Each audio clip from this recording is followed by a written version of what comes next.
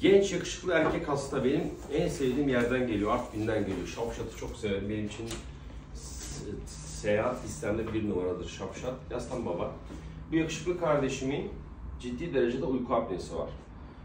Burada uyku apnesini tedavi etmek için nasıl bir yol izleyeceğiz ona bakacağız. Burada muayene bulguları çok önemli. Hastamız hazır olarak gelmiş uyku testi elinde. Uyku testinde apne hipopne indeksi dediğimiz saatlik uyku apnesi derecesi oldukça yüksek. Şimdi eğer KBB açısından uygunsa cerrahi yapılabilir. Değilse CPAP maskesi kullanılması gerekebilir. Burada tek bir dezavantaj var.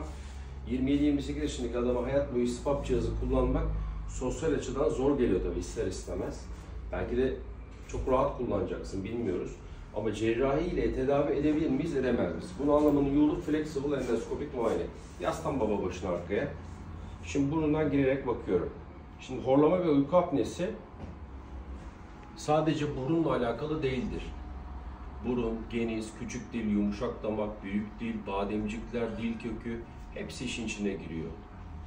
Dolayısıyla burundan girdik baba. Şimdi geniz bölgesindeyiz, nazopharynx'teyiz.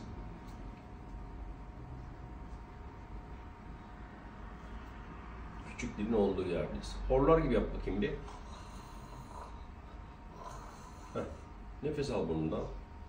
Genizinde adonit kalıntın da var. Bir daha yap baba. Lateral faringel bantlar ne kadar belirgin bak. Aşağı iniyorum dil köküne. Dil kökü bizim için çok belirleyici. Burundan nefes al var baba. Bir daha horlar gibi yap. Okey. Ses tellerindeyiz. Dil köküne kadar geldik şu anda.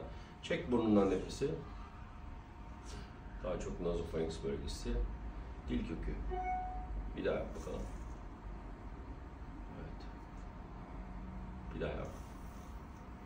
Dil kökünde de sorun var. Yes.